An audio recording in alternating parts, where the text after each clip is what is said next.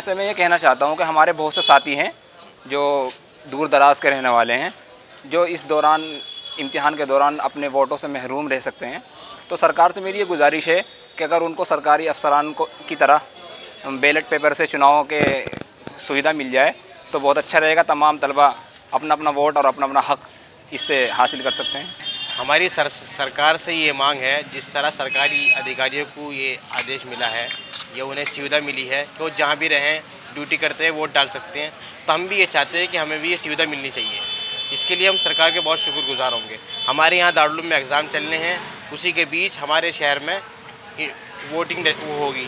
तो हम चाहते हैं कि हम यहीं यहाँ रहते हुए अपना वोट डाल सकें। तो आप ये चाहते हैं आपको बैलेट की सुविधा से कर्मचारी की तरह दी जाएगी? जी हमें भी सुविधा का कर्मचारी की तरह मिल जाए तो हम इसके लिए सरकार के शुक्रगुजार होंगे। बाहर के तकरीबन साढ़े छः हज़ार लड़के हैं, सब अलग अलग जिलों से, जगहों से बिलोंग करते हैं। तो अगर सबको ये सुविधा मिल जाए तो हम इसके लिए सरकार के बहुत शुक्रगुजार होंगे। देखिए, चुनाव का ऐलान हो चुका है चुनाव आयोग की तरफ़ से। और इसी मौके पर दीनी मदारस के अंदर तलबा जो है अपने इम्तहान के अंदर मशगूल रहते हैं और उनका जो है साल भर का आखिरी जो निचोड़ होता है, वो इम्तहान इस मौके पर होता है।